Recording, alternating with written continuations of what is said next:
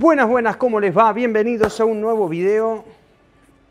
Muy bien, Cristian no se me ríe. Eh, hoy vamos a hacer un tutorial de cómo armar la motosierra de Luxtoff, eh, no motosierra, electrosierra eléctrica, eh, sierra eléctrica. Vamos a ver cómo se arma, todo lo que trae. Y este es marca Luxtoff, modelo ESL 2000-8. Y les voy a dar mm, al al último, que al último quédense que vamos a hacer una diferenciación entre lo que son las motosierras em, eléctricas y la diferencia que tienen con las motosierras, motosierras, motor explosión. Así que vamos a ver.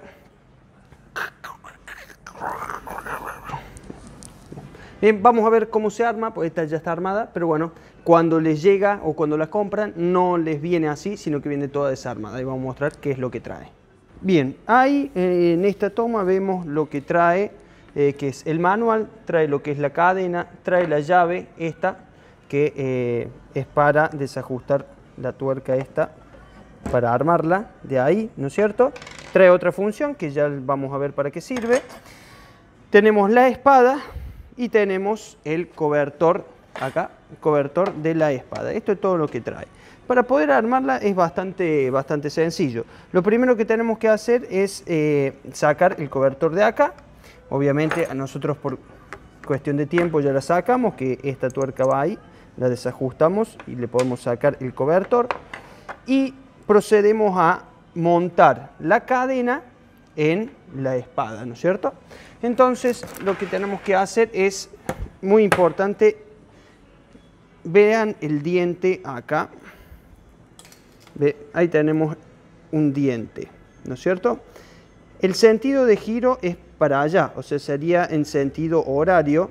Si se fijan, esta parte de acá tiene que ir para adelante, que esto es como una guía que va, va guiando a esta, al diente, que es el que después va a cortar. Entonces siempre es en este sentido de giro, siendo para allá, ¿no es cierto? Entonces procedemos a ponerla así en la espada.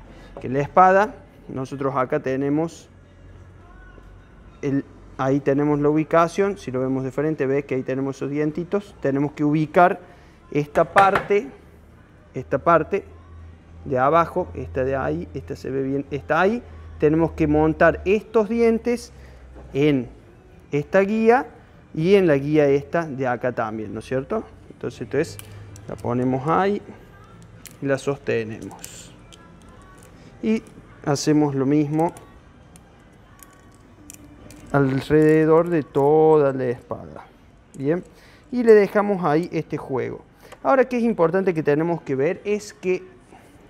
Este Ahora, lo importante que tenemos que ver es que, bueno, esta es la guía y este es el huequito por el cual nosotros debemos poner un pitoncito que tiene la máquina que es la que nos va a permitir ajustar la cadena de después. Entonces, la guía tiene que ir acá, ¿no es cierto? Y acá. La guía va a ir acá y este es el pitoncito que ahora está así flojo, pero este pitoncito que está acá, que nos permite regular la cadena, es el que tiene que ir en esta parte de la espada, allí.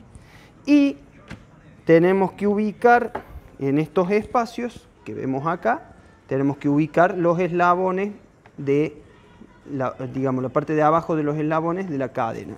Bien, entonces... En el caso que, en el caso acá que nos queda eh, así desajustada, lo que tenemos que hacer es con esta parte de la llave que yo le decía que iba a tener otro uso, esta parte funciona como destornillador y lo que vamos a hacer es, si se alcanza a ver ahí, acá abajo, ahí, ustedes ven la máquina ahí, ¿no es cierto?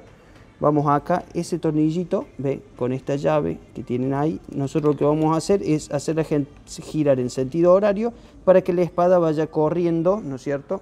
La espada va a ir corriendo para este lado y nos va a ajustar la cadena, ¿no es cierto? Bien, entonces ahí vamos a proceder a ajustar. Si nosotros, si ustedes ven, apenas la fuerza ahí estamos haciendo mucha fuerza y el juego entre esto y acá, o sea, donde ven mi dedo, este juego acá, tiene que ser más o menos de 2 centímetros, ahí se ve bien. Tiene que ser de 2 centímetros. Entonces lo vamos a aflojar un poco porque después también al ajustar aquí, ajustar la tapa, esta se estira un poco más también. Así que vamos a aflojar un poquito, que hacemos en sentido antihorario. La aflojamos un poquito y ahí nos queda con este juego. Está bien, este juego está bien y siempre la dirección es esta. Una vez ubicado, procedemos a poner la tapa. Ahí. Y con la llave que trae, la ajustamos. Ajustamos y ahí ya la tenemos armada. La funda, siempre importante para que no nos cortemos, la podemos poner ahí. Ahí nos queda la funda. Tenemos la máquina así armada.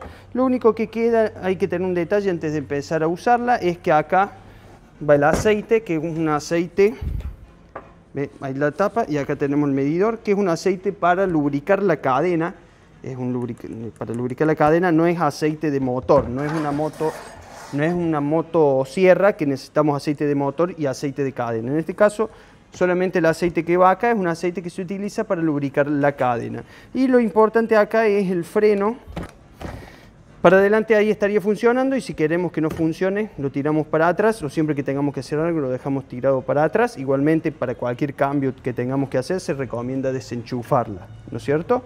Pero bueno, también tenemos la opción del freno eh, del freno, en este caso un freno eléctrico. Esta es una máquina que tiene un motor de 2000, de 2000 watts de potencia, tiene una velocidad sin carga de 7000 revoluciones por minuto, la velocidad de la cadena es de 13 metros por segundo, la espada viene con una espada de 40 centímetros y el paso de la cadena es de 3 octavos. El peso de esta máquina es de 5 kilos, lo cual es liviano para poder manejarlo, pero bueno, como te prometí, vamos a ver qué diferencia hay con las motosierras. Bien,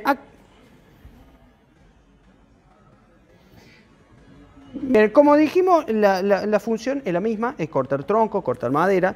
Lo que eh, recomendamos en electrosierra es obviamente eh, que sea en, eh, una una máquina cuando nosotros lo vamos a utilizar en la casa. Cuando vamos a utilizar en la casa que tenemos luz, que tenemos acceso a luz, no tenemos que usar generador, eh, no tenemos eh, grandes distancias, por ejemplo, si vamos a un terreno que no tenemos luz, necesitamos una prolongación muy larga.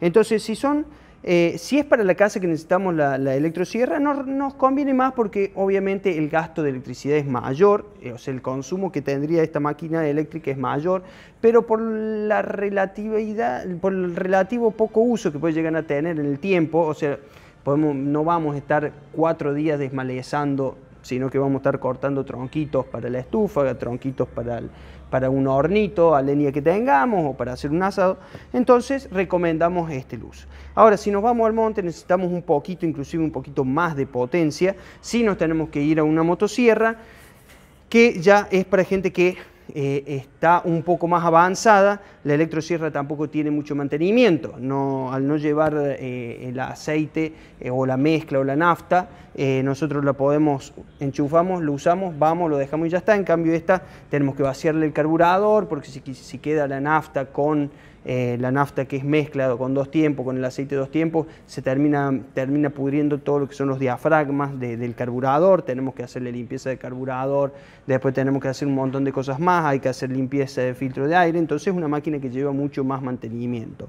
Eh, y eh, otra de las ventajas es que la electrosierra es mucho más económica que una motosierra. Entonces, para un uso tranquilo en la casa, recomendamos la electrosierra, para un uso mucho más intensivo, mucho más profesional, eh, recomendamos lo que es la, la, motosierra. Si ustedes conocen alguna otra de las diferencias que puede llegar a ver, con todo gusto lo pueden dejar en los comentarios, así ayudan a toda la comunidad a que se vayan enterando.